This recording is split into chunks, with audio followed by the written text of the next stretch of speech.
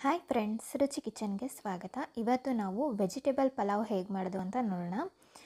ಈ ವೆಜಿಟೇಬಲ್ ಪಲಾವ್ ಮಾಡೋದಕ್ಕೆ ನಾನಿಲ್ಲಿ ಒಂದು ಕುಕ್ಕರ್ನ ಮೀಡಿಯಮ್ ಫ್ಲೇಮಲ್ಲಿ ಬಿಸಿ ಮಾಡಿ ಇಟ್ಕೊಂಡಿದ್ದೀನಿ. ಅದಕ್ಕೆ ಒಂದು ಐದು ಟೇಬಲ್ ಸ್ಪೂನಷ್ಟು ಎಣ್ಣೆನ ಹಾಕ್ಕೊಳ್ತಾ ಇದ್ದೀನಿ. ಹಾಗೆ ಒಂದರಿಂದ ಒಂದೂವರೆ ಟೇಬಲ್ ಸ್ಪೂನಷ್ಟು ತುಪ್ಪ ಹಾಕ್ಕೊಳ್ತಾ ಇದ್ದೀನಿ. ಆ, ತುಪ್ಪ ಹಾಕೊಳ್ಳೋದ್ರಿಂದ ಟೇಸ್ಟ್ ಚೆನ್ನಾಗಿರುತ್ತೆ.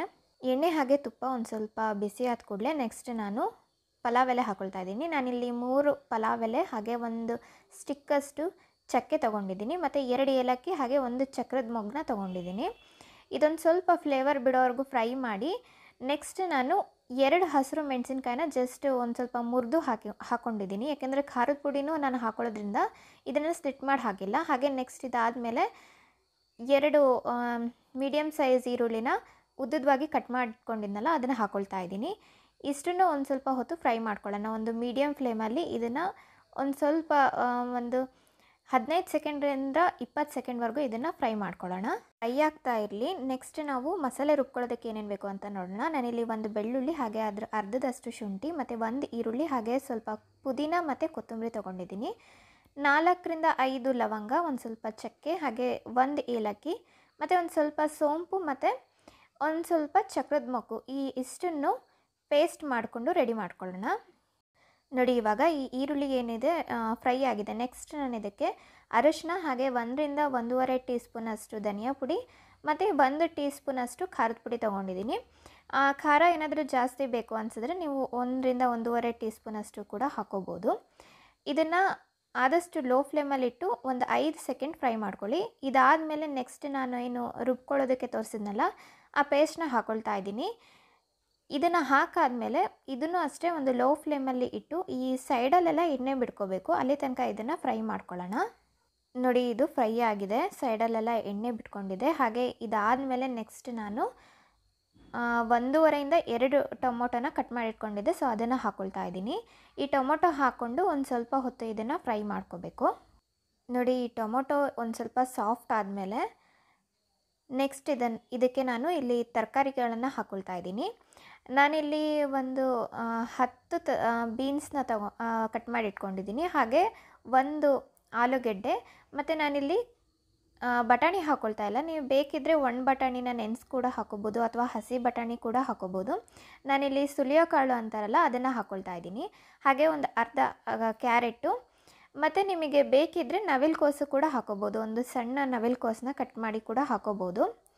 ಇದಾದಮೇಲೆ ನಾನು ಉಪ್ಪನ್ನ ಹಾಕ್ಕೊಳ್ತಾ ಇದ್ದೀನಿ. ಸೊ ವೆಜಿಟೇಬಲ್ ಪಲಾವ್ಗೆ ಆದಷ್ಟು ತರಕಾರಿ ಹಾಕಿದ್ರೇ ಚೆನ್ನಾಗಿರುತ್ತೆ ಟೇಸ್ಟು ನೋಡಿ, ಇಷ್ಟನ್ನು ಹಾಕಿ ಚೆನ್ನಾಗಿ ಈ ಥರ ಮಿಕ್ಸ್ ಮಾಡ್ಕೊಳ್ಳೋಣ. ನೋಡಿ, ಇವಾಗ ಈ ಥರ ಚೆನ್ನಾಗಿ ಇದನ್ನು ಮಿಕ್ಸ್ ಮಾಡಿ ತಕ್ಷಣವೇ ನೀರು ಹಾಕೊಳ್ಳೋದಕ್ಕೆ ಹೋಗಬೇಡಿ. ಒಂದು ಸ್ವಲ್ಪ ಹೊತ್ತು ಇದು ಒಗ್ಗರಣೆ ಜೊತೆ ಎಲ್ಲ ಚೆನ್ನಾಗಿ ಫ್ರೈ ಆಗಬೇಕು ಈ ತರಕಾರಿ ಎಲ್ಲ. ಇದಾದಮೇಲೆ ನಾನು ಕ್ಯಾಪ್ಸಿಕಮ್ನ ಹಾಕೊಳ್ತಾ ಇದ್ದೀನಿ. ಕ್ಯಾಪ್ಸಿಕಮ್ಮು ಮೊದಲೇ ಹಾಕೊಳ್ಳೋದಕ್ಕೆ ಹೋಗ್ಬೇಡಿ. ಯಾಕೆಂದರೆ ಸಾಫ್ಟ್ ಆಗೋಗುತ್ತೆ. ನೋಡಿ, ಈ ಟೈಮಲ್ಲಿ ಹಾಕ್ಕೊಳ್ಳೋಣ ಇವಾಗ. ಇದನ್ನು ಒಂದು ಸ್ವಲ್ಪ ಹೊತ್ತು ಫ್ರೈ ಮಾಡಾದ್ಮೇಲೆ ನೆಕ್ಸ್ಟ್ ನಾವು ನೀರನ್ನ ಹಾಕ್ಕೊಳ್ಳೋಣ ನೀರು ನಾನಿಲ್ಲಿ ಮೂರು ಕಪ್ಪಷ್ಟು ನೀರನ್ನ ಹಾಕ್ಕೊಳ್ತಾ ಇದ್ದೀನಿ. ಅಕ್ಕಿ ನಾನಿಲ್ಲಿ ಒಂದೂವರೆ ಕಪ್ಪಷ್ಟು ಅಕ್ಕಿ ತೊಗೊಂಡಿದ್ದೀನಲ್ಲ, ಸೊ ಅದ್ರ ಡಬಲ್ ಅಷ್ಟು. ಅಂದರೆ ನಾನು ನಾರ್ಮಲ್ ಸೋನಾ ಮಸೂರಿ ಅಕ್ಕಿತನ ತೊಗೊಳೋದ್ರಿಂದ ಒಂದು ಕಪ್ಪಿಗೆ ಎರಡು ಲೋಟ ನೀರು ಆ ಥರ ಮೆಜರ್ಮೆಂಟಲ್ಲಿ ತೊಗೊಂಡಿದ್ದೀನಿ. ಸೊ ನಾನು ಮೂರು ಕಪ್ಪಷ್ಟು ನೀರನ್ನ ಹಾಕ್ಕೊಳ್ತಾ ಇದ್ದೀನಿ. ಈ ನೀರನ್ನ ಹಾಕಾದ್ಮೇಲೆ ಇದೊಂದು ಸ್ವಲ್ಪ ಕುದಿ ಬರಬೇಕು. ನೋಡಿ, ಇವಾಗ ಕುದಿ ಬರ್ತಾ ಇದೆ. ನೀವು ಈ ಟೈಮಲ್ಲಿ ಉಪ್ಪು, ಖಾರ ಚೆಕ್ ಮಾಡ್ಕೋಬೋದು. ಉಪ್ಪೇನಾದರೂ ಕಡಿಮೆ ಆದರೆ ಅಥವಾ ಖಾರ ಕಡಿಮೆ ಆದರೆ ಒಂದು ಸ್ವಲ್ಪ ಖಾರದ ಪುಡಿ ಹಾಕೋಬೋದು. ನೋಡಿ, ಇವಾಗ ನೆಕ್ಸ್ಟ್ ನಾನು ಅಕ್ಕಿನ ಒಂದೆರಡು ಸಲ ವಾಶ್ ಮಾಡಿ ಹಾಕ್ಕೊಳ್ತಾ ಇದ್ದೀನಿ. ನಾನು, ನೀವೇನಾದರೂ ನಾರ್ಮಲ್ ಸೋನಾ ಮಸೂರಿ ಅಕ್ಕಿ ಹಾಕ್ಕೊಂಡ್ರೆ ಅದನ್ನೇ ನೆನೆಸೋ ಅವಶ್ಯಕತೆ ಇರೋದಿಲ್ಲ. ನೋಡಿ, ಹೀಗೆ ಮಿಕ್ಸ್ ಮಾಡಿ ಇದನ್ನು ಒಂದು ಸ್ವಲ್ಪ, ಆಮೇಲೆ ಪುದೀನ ಹಾಕ್ಕೊಳ್ಳೋಣ ಪುದೀನ ನಾನಿಲ್ಲಿ ಒಂದು ಅರ್ಧ ಕಟ್ಟಷ್ಟು ತೊಗೊಂಡಿದ್ದೀನಿ. ನೀವು ಇದನ್ನು ಒಗ್ಗರಣೆ ಟೈಮಲ್ಲಿ ಕೂಡ ಹಾಕೋಬೋದು ಅಥವಾ ಈ ಥರ ಲಾಸ್ಟ್ ಟೈಮಲ್ಲಿ ಕೂಡ ಹಾಕೋಬೋದು. ಹಾಗೆ ಬೇಕಿದ್ದರೆ ನೀವು ಒಂದು ಅರ್ಧ ಲೆಮನ್ನ ಸ್ಕ್ವೀಸ್ ಮಾಡಿ ಕೂಡ ಹಾಕೋಬೋದು. ನಾನಿಲ್ಲಿ ಹಾಕ್ಕೊಳ್ತಾ ಇಲ್ಲ, ಯಾಕೆಂದರೆ ಟೊಮೊಟೊ ನಾನು ಒಂದೂವರೆ ಅಥವಾ ಎರಡು ಟೊಮೊಟೊ ತೊಗೊಂಡಿದ್ದೀನಿ. ಸೊ ಅದಕ್ಕೋಸ್ಕರ ನಾನು ಲೆಮನ್ನ ಏನು ಸ್ಕ್ವೀಸ್ ಮಾಡಿ ಹಾಕೊಂಡಿಲ್ಲ. ನಿಮಗೆ ಬೇಕಂದರೆ ನೀವು ಹಾಕೋಬಹುದು ಈಗ ಈ ಕುಕ್ಕರ್ನ ಲಿಡ್ನ ಕ್ಲೋಸ್ ಮಾಡಿ ಒಂದು ಎರಡು ವಿಷಲ್ನ ಮೀಡಿಯಮ್ ಫ್ಲೇಮಲ್ಲಿ ಕೂಗಿಸ್ಕೊಳ್ಳೋಣ. ಎರಡು ವಿಷಲ್ ಆದಮೇಲೆ ಒಂದು ಹತ್ತು ನಿಮಿಷ ತಣ್ಣಗಾಗಕ್ಕೆ ಬಿಡಬೇಕು. ಆಗ ಅನ್ನ ಏನಿದೆ, ಒಂದು ಸ್ವಲ್ಪ ಚೆನ್ನಾಗಿ ಅರಳುತ್ತೆ. ನೋಡಿ, ಇವಾಗ ಒಂದು ಎರಡು ವಿಷಲ್ನ ನಾನು ಮೀಡಿಯಮ್ ಫ್ಲೇಮಲ್ಲಿ ಇಟ್ಟು ಕೂಗಿಸಿ, ಆಮೇಲೆ ಒಂದು ಹತ್ತು ನಿಮಿಷ ತಣ್ಣಗಾಕೆ ಬಿಟ್ಟಿದ್ದೆ.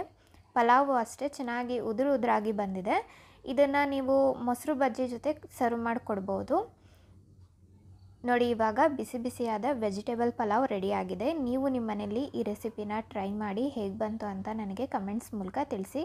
ಹಾಗೆ ನನ್ನ ಚಾನಲ್ನ ಇನ್ನೂ ಸಬ್ಸ್ಕ್ರೈಬ್ ಮಾಡ್ಕೊಂಡಿಲ್ಲ ಅಂದರೆ ಈಗಲೇ ಹೋಗಿ ಸಬ್ಸ್ಕ್ರೈಬ್ ಮಾಡ್ಕೊಳ್ಳಿ. Thank you.